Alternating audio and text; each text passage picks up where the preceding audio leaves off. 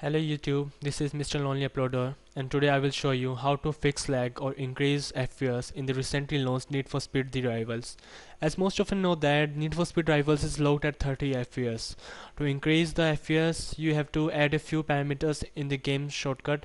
Let me begin the let me begin the video with first method to increase the FPS or frame rates first go to the game installation directory. And this is this is the game installation directory for my game. And then create a shortcut for the for the game launcher. I have created a shortcut. Uh, although I have recently although I have previously created one uh, go to the shortcut properties. And there you need to paste a, a parameters in the game target folder you can also download these parameter from the game description of my video. From the description of my video. Uh, here is the target.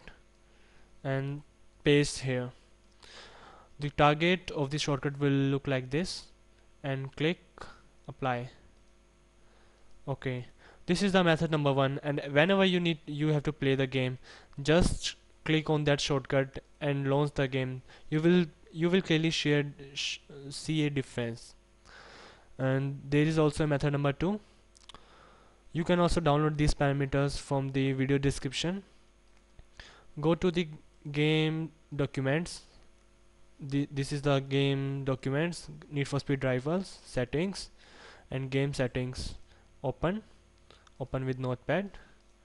And paste these settings here and save the settings. Now launch the game and I hope you will clearly notice the difference in the game.